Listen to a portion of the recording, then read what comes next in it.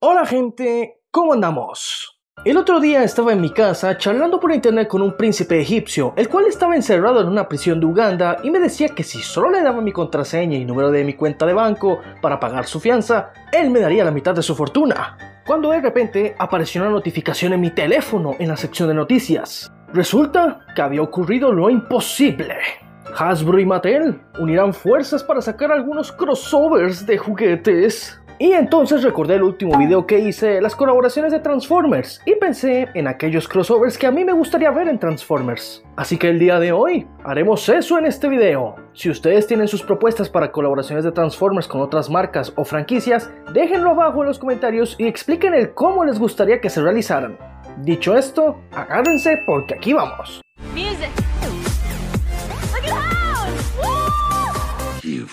Hot Wheels Ah, los carritos Hot Wheels, los ames o los odies, todos hemos tenido uno de ellos en varios momentos diferentes de nuestra vida. De todas las colaboraciones que mencionaré en este video, esta es la única de la cual sabemos que hay un 100% de probabilidades de que ocurra, debido a que las propias Mattel y Hasbro han confirmado que llegará por fechas de otoño.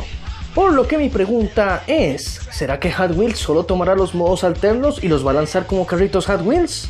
Oh, estos carritos Hot Wheels también se podrán transformar, algo similar a lo que vimos con las figuras de la escala Cyberverse, ya que algunas de ellas llegaban a tener el tamaño de un carro Hot Wheels. No quiero dormir, quiero respuestas. O todo lo contrario, que sean los autos de fantasía de Hot Wheels los que se conviertan en Transformers. Sea lo que sea, estoy seguro de que será algo muy interesante de ver.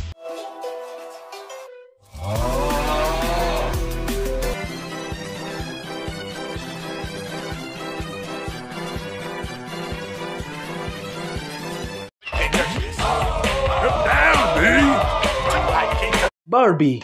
Barbie, la mujer más hembra de todas las mujeres que existen en este mundo. Ay, pero Mr. Toto, Barbie no es la gran cosa. Te me callas y me la respetas. ¿Quieres? Barbie tiene más cerebro, más títulos y más trabajos que todos nosotros juntos. Barbie puede ser lo que quiera hacer, incluso una criminal de guerra cibertroniana. Pero Mr. Toto, ¿cómo puede Barbie ser un Transformer? ¿Y por qué no?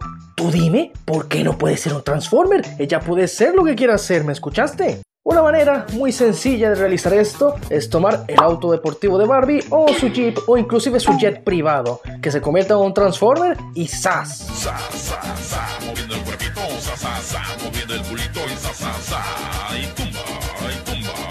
no quedaría nada mal. O podrían ser incluso más ingeniosos y hacer que el Transformer sea como un Human Alliance, ¿saben? Y así poder incluir una minifigura de Barbie con un nuevo oficio. Barbie, soldado del Nest, cazadora de Decepticons. Eh, digo, digo, eh, Barbie mecánica, claro. Barbie mecánica con su mini caja de herramientas, por supuesto.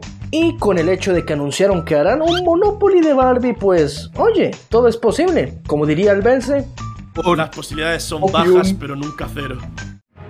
I can't hear you. All hail Starscream. One more time. DC Comics. En un inicio pensé solo en Batman. Ya saben que Hasbro aplica lo mismo que hace Lego con DC Comics, que cada vez que anuncia un nuevo set, este siempre es del Señor de la Noche. He visto un oso Teddy que habla. Shh, para anunciar el nuevo set de DC Superhero. Nuestro nuevo set será de Batman y Harley Quinn. ¡Verga! Pero luego pensé en las posibilidades de figuras de la Liga de la Justicia que sean Transformers. Y es que si lo analizamos bien, tenemos bastante material de sobra con el cual trabajar. Batman, tanto con el Batimóvil como con el Batiavión, podrían ser fácilmente un Transformer. Inclusive, podrían hacer que Batman sea un Triple Changer.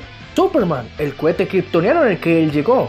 Wonder Woman, el avión invisible, solo que no sería invisible, claro, tendría los colores de Wonder Woman. Y muy probablemente si lo hicieran invisible, eh, usarían plástico translúcido y ya saben lo que significaría esa figura, ¿no? Perros, corran porque voy a explotar, putos hijos de perra mierda. Linterna Verde, agarra el F-14 de la colaboración de Top Gun, hazlo verde, que su modo robot y cabeza se parezcan a Hal Jordan y listo. El detective marciano, tomando en cuenta que este es un personaje que puede cambiar de forma, podemos darle alguna especie de modo bestia y que se convierta, no sé, en alguna especie de dragón, por ejemplo. Flash, referenciando a un episodio de la serie animada, le haríamos a TV Pablo, simplemente píntalo de rojo con amarillo y presto. Y Aquaman, pues dale también un modo bestia que se convierta en un delfín, cómo no.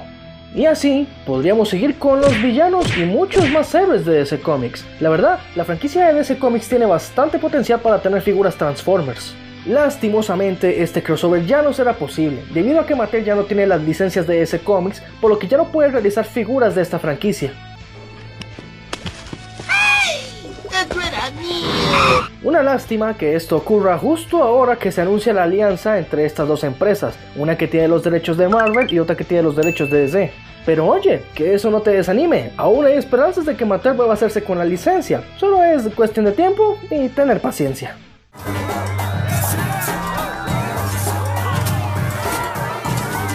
Angry Birds. Ya hace bastante tiempo salió el videojuego crossover de Angry Birds Transformers. Para los fans de Angry Birds es un juego de mierda. Para los fans de Transformers es una carta de amor al gaming. Es bellísimo. Durante aquellos años se lanzaron figuras de Angry Birds Transformers que más que figuras se pueden definir en puta mierda. Son literalmente los precursores de los putos One Step Changers. Pero actualmente, gracias a la Gamer Edition de Studio Series, hay probabilidades de ver a estos personajes mucho mejor realizados. Simplemente es que Hasbro toque a las puertas de Sega, ya que ellos son ahora los dueños de Angry Birds, y listo. Jesse. Not you. Y hablando de Sega,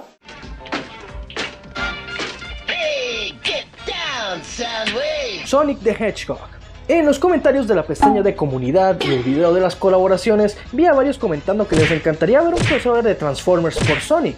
Pero lastimosamente no conozco mucho de Sonic más que lo que se ha presentado en las películas. Eso no es bueno. Por eso, he traído un invitado especial para que nos hable de Sonic. Hola a todos soy JustF86 y yo voy a hablarles de este punto del video. Bueno en caso de que si se hiciera una colaboración aparte de traer una historia crossover tendrían figuras como muchas de las colaboraciones que hay. Tendríamos dos opciones.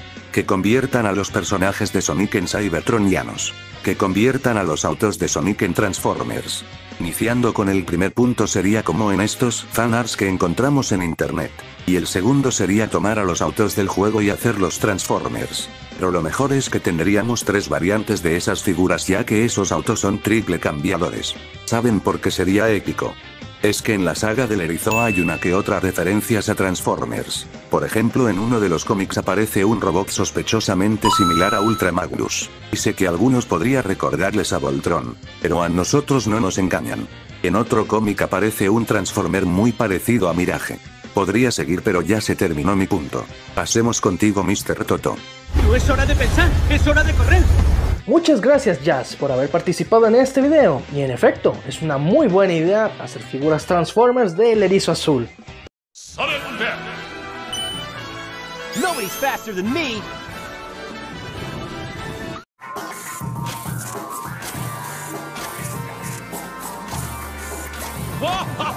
Max Steel. Él, un héroe en la infancia de muchos. Max Steel es mi padre y el tuyo también, solo que no tienes ni puta idea.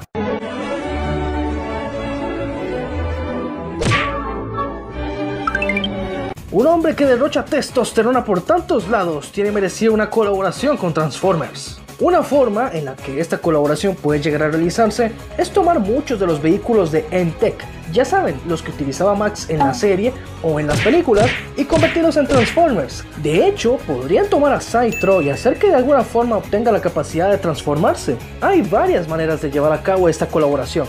Lo triste es que esto será imposible, ya que yo les estoy hablando del Max Steel clásico, y este lleva muerto por parte de Mattel desde el año 2014. No, Mr. Toto, pero aún se puede hacer una colaboración con el Max Steel del reboot. El simple hecho de que propongas eso me es un insulto. Siento que a ese Max Steel le quedaría mucho mejor una colaboración con los Power Rangers, ya que este tiene mucho más en común con estos últimos. Y súmale también que la franquicia de Max Steel lleva en pausa desde el año 2021. Una lástima lo que le ocurrió al pobre Max. ¿Qué es esto? ¿El día de destruir a Max Steel?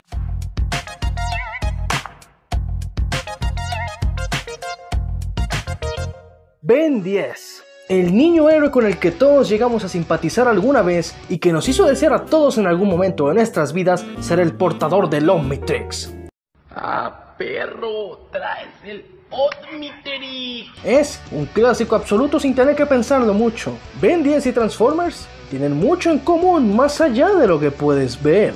Las dos franquicias tuvieron dos series con un estilo de arte extraño diseñados por la misma persona.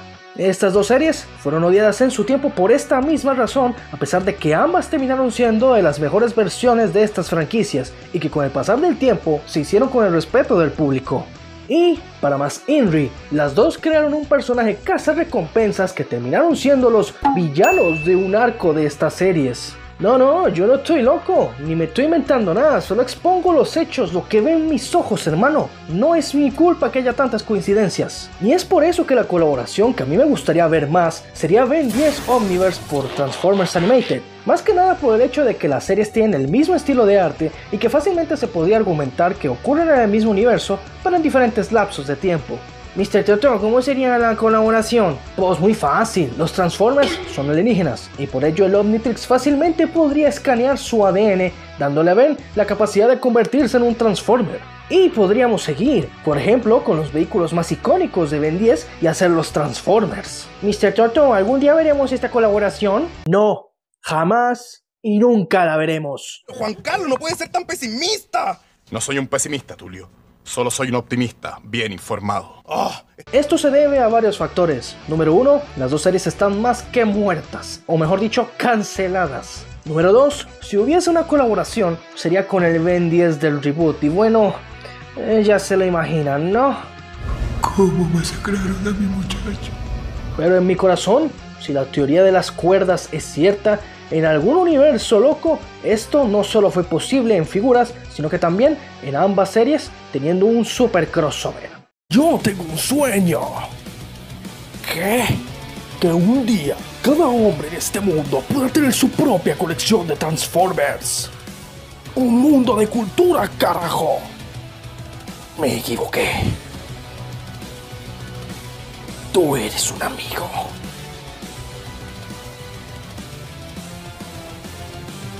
Parado aquí, lo comprendí. Ok, ya basta. Si el video te gustó, por favor dale a like y suscríbete si quieres ver más videos como este.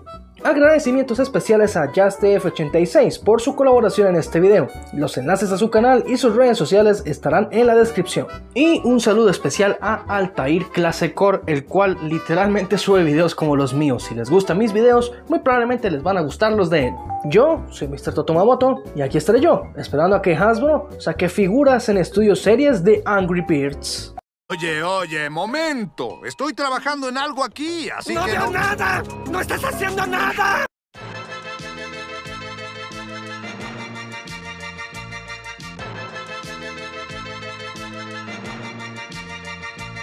Es un buen argumento, senador.